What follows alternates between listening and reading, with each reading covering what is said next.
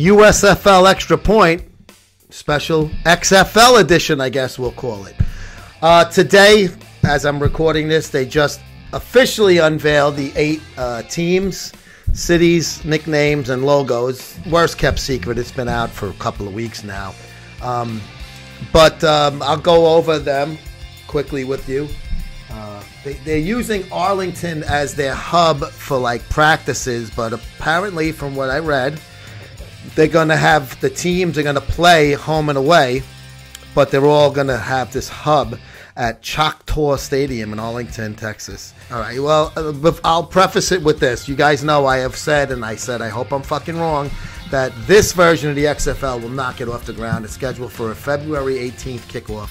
And they've already floated only, I think it was in September or so. They're looking for uh, 45% um, investors that's a fucking huge red flag uh, to me. Um, uh, Dwayne Johnson, The Rock, and his ex-wife and uh, current business partner Dany Garcia. Uh, you know, him and her have, you know, I, I don't want to be redundant. And you can go look at the other articles and videos I've posted over the years with, with the two of them, with the um, Olympia on uh, on fucking network TV, 2017. That was supposed to be, it never happened. Uh, the Rock Games, Athleticon, two years went by. One year COVID excuse, the next year, and then they just they just they don't update it. Just let it die. Like you know, you just don't feed it and let it die. Maybe people forget about it. Now, now they bought the XFL.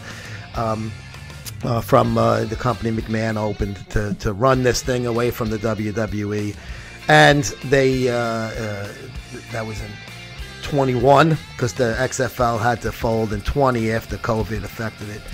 And they sat on it for a couple of years. They did some things, but to me, it was like, all right, what's going on? And then the whole CFL, whatever was going to go on over there. Everybody's been hush hush. Obviously, there's uh, you know an agreement not to talk shit about each other. So you got the Arlington Renegades.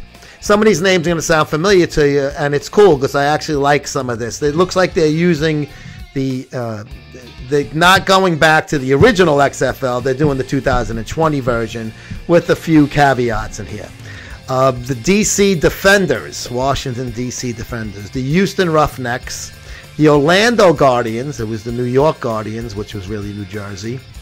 Uh, in 20. San Antonio Brahmas. Now, this is like the Brahma Bull. Remember, The Rock had the tattoo, and he was the Brahma Bull, was his nickname.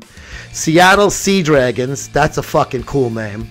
St. Louis Battlehawks, uh, Vegas Vipers. I know St. Louis is pretty excited about that. They have uh, a good a good following there, especially after losing the fucking uh, uh two NFL teams over the years, the Cardinals and the Rams over the years.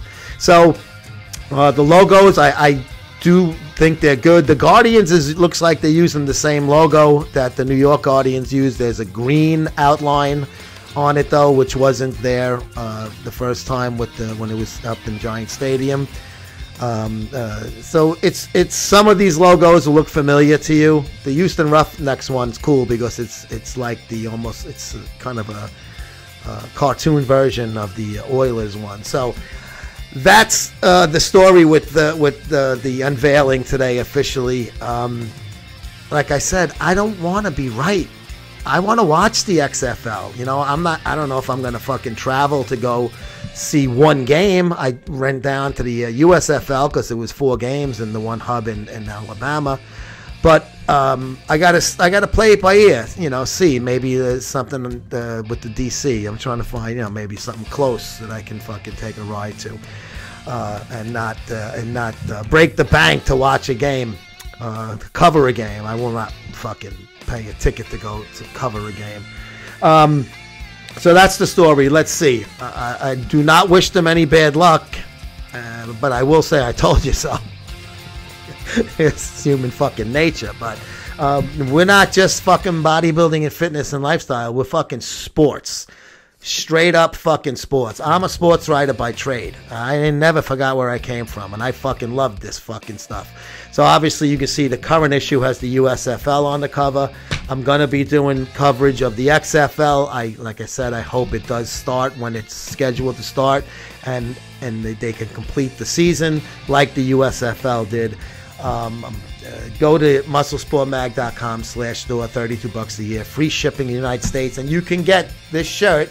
This is the summer 2017 cover. Iron maiden tribute. A big giant juiced up eddie destroying a city. If you buy both i will throw in a free back issue. So go to musclesportmag.com slash store. Place your order and we'll see you next time on usfl extra point